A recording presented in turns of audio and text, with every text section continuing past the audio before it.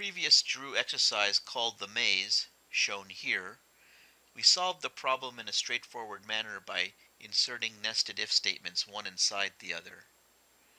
As we revisit the maze here in this exercise, we will demonstrate a brand new concept called recursion, which can also be used to solve this problem. Let's first start by looking at the full solution.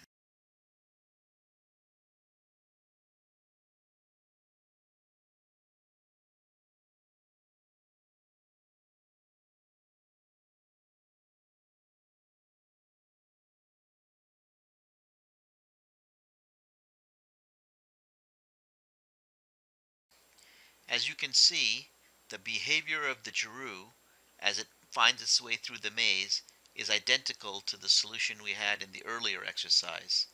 However, the recursive algorithm that we're going to show here is quite different in its implementation. To understand what we mean by recursion, let's have a peek at part of the solution. Here inside the move method, we see something quite peculiar.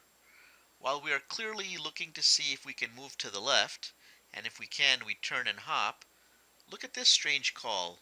We're calling the move method from inside the move method. In other words, we're calling ourselves. This is what is meant by recursion.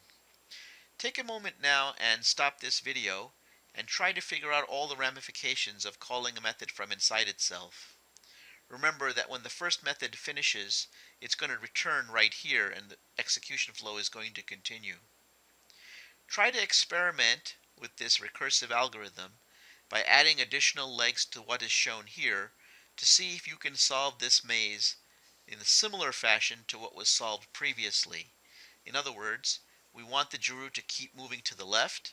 If it can't move to the left, we want it to move forward. If it can't move forward, we want to move to the right. And if we can't do any of those things, we want to turn around.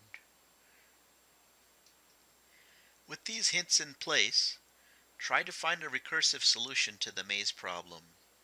Feel free to go on Google and do some research also on how recursion can be used to solve maze problems. You might find that the hints that you get from your research will help you to solve this